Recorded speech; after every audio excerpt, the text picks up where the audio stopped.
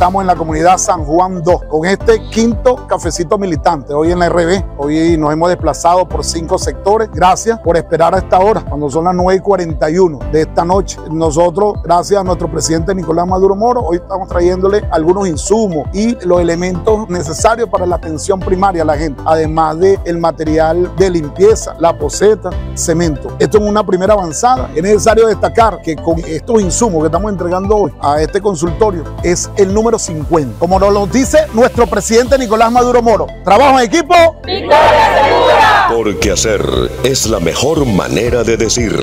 Rafael Paredes, tu alcalde.